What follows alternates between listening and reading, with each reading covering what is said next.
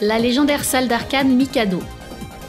Nous y retrouvons Kamui, championne du monde de Battle Garega. Mémoire du jeu d'arcade japonais, cette salle n'est pas seulement un musée, mais accueille aussi régulièrement des événements, des tournois, des animations, des streams. Battle Garega est sorti en 1996, développé par le studio Raising. Il porte la griffe du programmeur Shinobu Yagawa, dont les créations à partir de Battle Garega sont considérées comme un sous-genre à part entière du shoot'em up en général et du Danmaku en particulier. Kamui est championne du monde de Battle Garega, et elle a ses habitudes à la salle Mikado, où la borne avec le jeu a des fonctionnalités spécifiques pour la pratique à haut niveau. Elle nous fait une démonstration d'une partie sur le pouce pour nous montrer un certain nombre de ses techniques. Konnichiwa. Bonjour. Bonjour. Bonjour. Elle commence sa partie en choisissant un personnage caché dont le gameplay est totalement orienté vers le scoring brutal et la démonstration. Elle le personnalise avec le système de variantes spécifiques à Battle Garega. Chaque personnage ayant ses spécificités, cela implique des manières de jouer différentes. L'un sera plus offensif avec des bombes plus puissantes, tandis que l'autre sera plus rapide pour aller ramasser les bonus et ainsi de suite. Comme beaucoup de shmup, Battle Garega propose un système de bombes ici légèrement plus sophistiqué que la moyenne.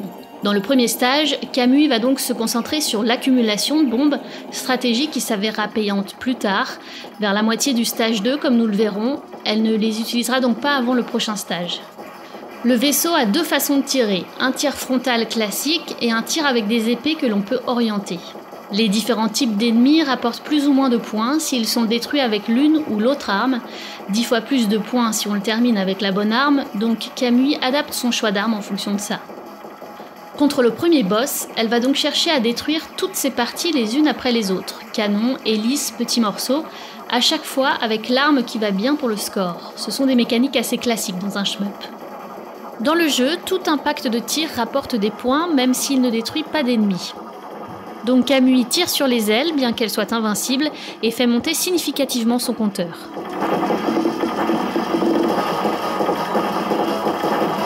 La première fois de la partie, Kamui sacrifie volontairement son vaisseau afin d'augmenter son compteur de bombes. Mais ne vous inquiétez pas, elle regagnera des vies régulièrement à mesure qu'elle accumulera les points. Elle profite du bref temps d'invincibilité au moment de réapparaître pour se placer à l'avant du vaisseau ennemi, ce qui lui permet de le finir aux épées.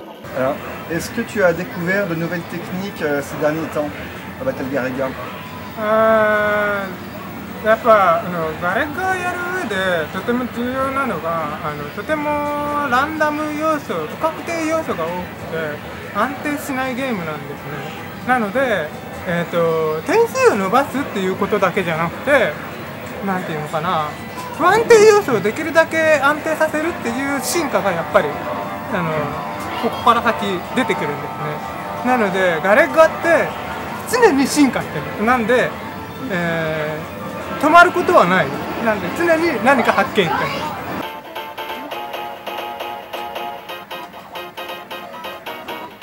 Et hop, deuxième suicide d'une longue série, la mettant donc à une boulette seulement du game over. Mais là encore, c'est volontaire, toujours pour faire monter le score. C'est alors qu'elle nous montre une prouesse qui échapperait certainement à l'attention du néophyte. Elle se dirige vers le château, elle envoie une bombe sur le château pour faire sortir un vol de flamants roses. Elle se jette exprès sur le petit avion qui arrive par la gauche. Comme elle n'avait plus de vie et que cela est supposé déclencher le game over, un gros item de bombe apparaît. Et pourtant, la partie continue, car entre le moment où elle s'est fait toucher et le moment du game over effectif, elle a gagné exactement les points qui lui manquaient pour obtenir une vie en plus, et donc enchaîner en bombant et continuer à faire des points. À ce moment du niveau, les flamants roses sont nombreux et indestructibles, et chaque collision rapporte des points. En multipliant les bombes par autant de flamants roses, les points s'accumulent à toute vitesse. Là, elle balance une bombe incomplète, c'est-à-dire qu'elle n'a en fait qu'un morceau de bombe. Elle répète cette action plusieurs fois, ramasse un morceau de bombe, puis jette une bombe incomplète. Autre aspect du système de scoring de Battle Garega, les médailles. Quand elle détruit des ennemis, il lâche des médailles qui rapportent des points. Plus on ramasse de médailles, plus celle-ci rapporte de points. Là, elle est déjà au max à 10 000 points par médaille. Si on en rate une et qu'elle quitte l'écran, la valeur des médailles est réinitialisée.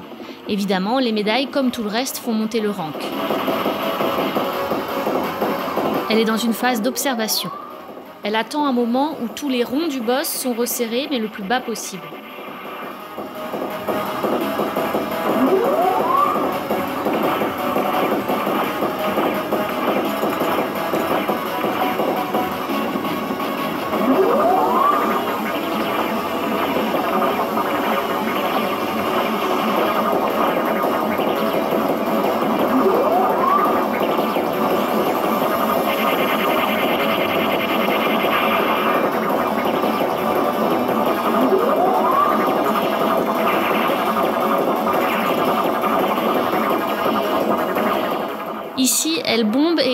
Tous les ronds extérieurs, en faisant attention à ne pas détruire l'intérieur, puisqu'elle va le détruire ensuite au shot pour faire le maximum de points.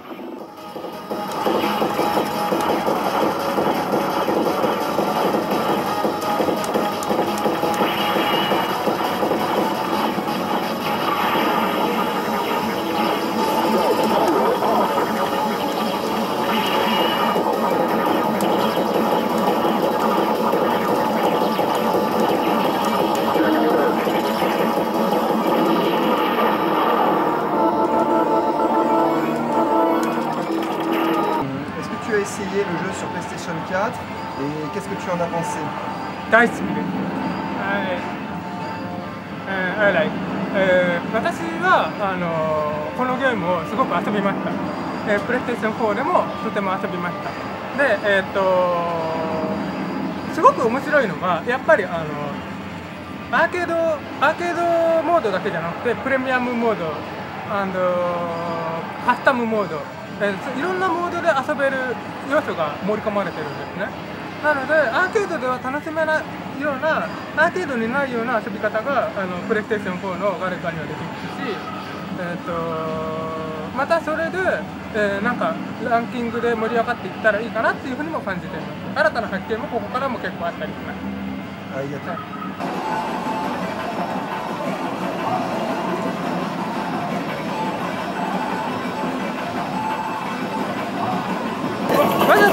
あのボスにダメージを与え与えないようにしながらこれ打ち込み点でね稼いでるんですよ。でこれあのほっとくとボスが逃げちゃうからあのボスが逃げるギリギリまで粘ってから倒すっていう。その間このように打ち込んでます。今何一見何や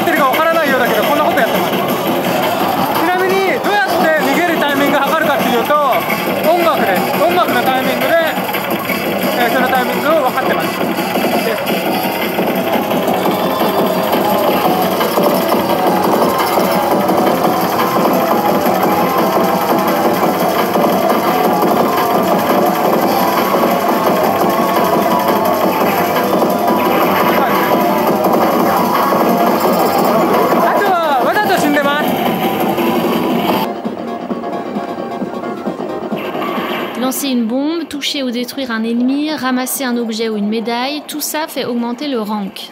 C'est une variable cachée du jeu. Plus on est bon, plus le rank monte et plus le jeu est difficile. Plus on perd, plus le rank diminue. Sa gestion fait donc partie intégrante des stratégies incontournables pour maîtriser Battle Garriga. D'une partie à l'autre, la valeur du rank est conservée dans la mémoire du jeu, donc Kamui redémarre la borne à chaque nouvelle partie pour le réinitialiser. C'est un des petits aménagements rendus possibles à la Mikado comme à la haie.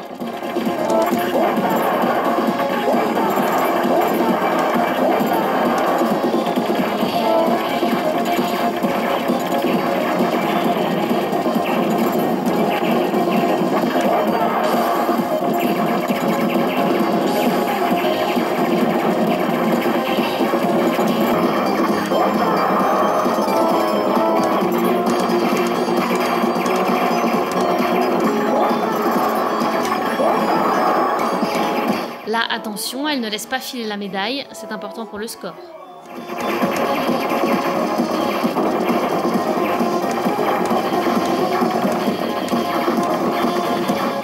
Ici, on voit les tanks. Ils sont détruits d'un coup. Ils lâchent des options pour les modes de tir, mais Camus les a déjà. Donc elle va plutôt détruire les tanks en commençant par les chenilles, ce qui donne des grosses recharges de bombes. Elle a besoin de 4 bombes pour scorer la fin du stage.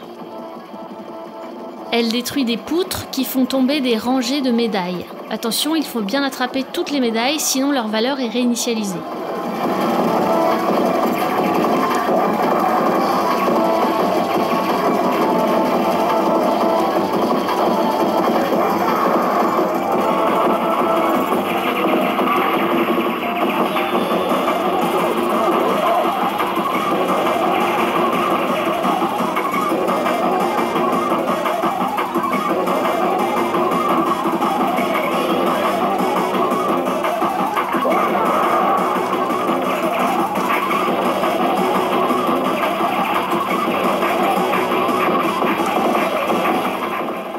D'habitude, elle va détruire le boss par petits morceaux.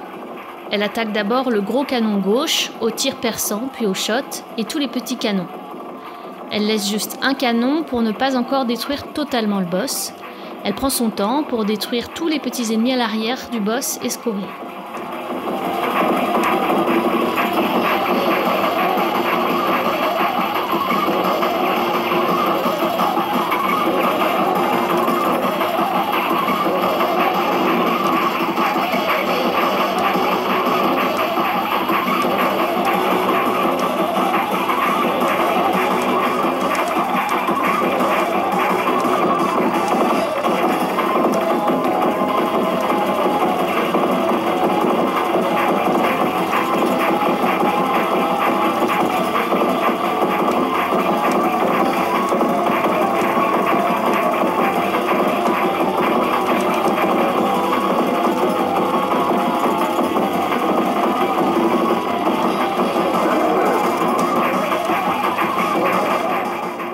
a bien pris son temps, le boss va bientôt partir, donc elle le détruit juste avant.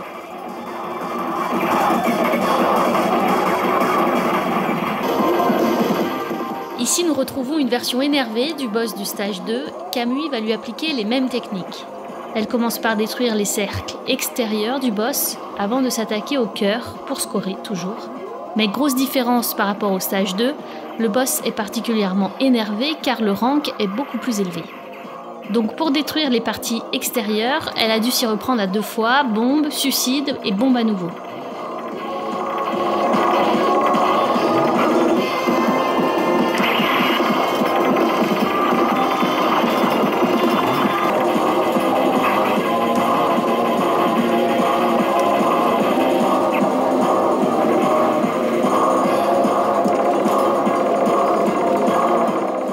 Cette partie du jeu, Kamui arrête de baisser le rank en se suicidant.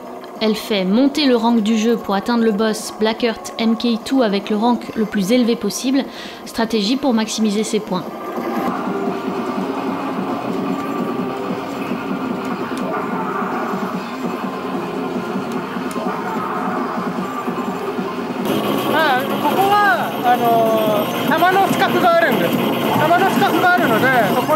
入ってこれをあの動かなくても当たらない位置のことをアンチって言うんですけど安全な場所っていう意味でアンチって言います。でそこに入ってあのキャットを斜めに打たせて打ち込み点で稼いでます。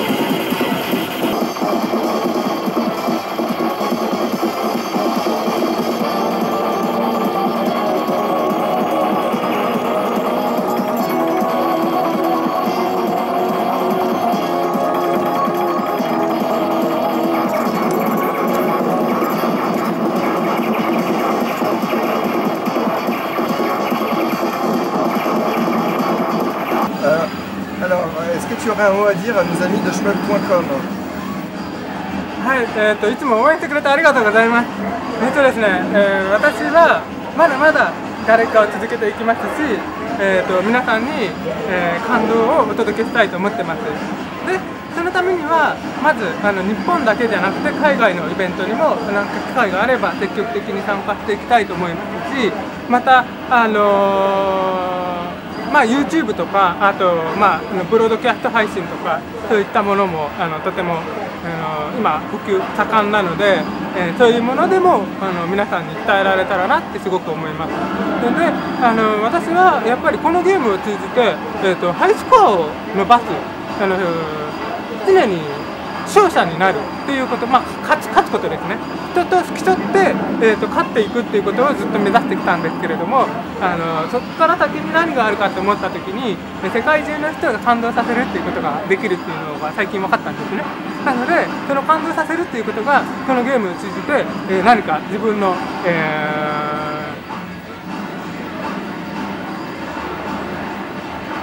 なんか夢になっていけばいいなともうそれが自分のすごい夢として今も歩んでいますなのでこれからもより応援応援のほどよろしくお願いしますありがとうございまありすがとうございます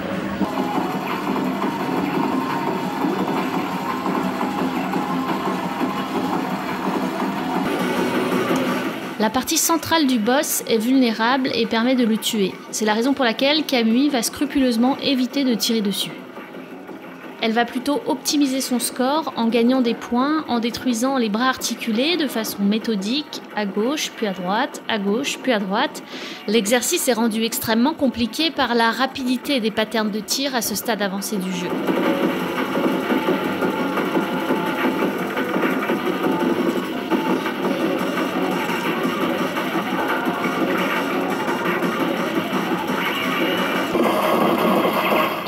Elle tire les bénéfices de son rank élevé. Elle souhaite en effet avoir un maximum de petites grenades car c'est un élément destructible qui rapporte beaucoup de points.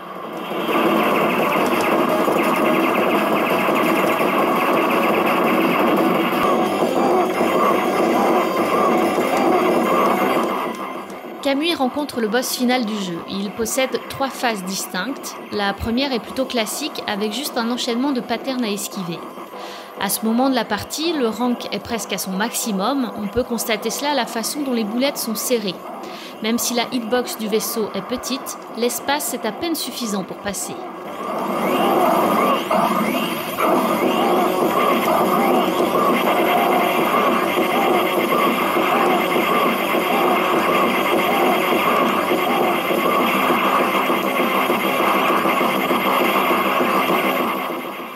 Pour sa deuxième phase, le boss a des bras articulés qui déploient plusieurs armes différentes de façon aléatoire, ce qui peut occasionner des combinaisons bien plus dangereuses que d'autres.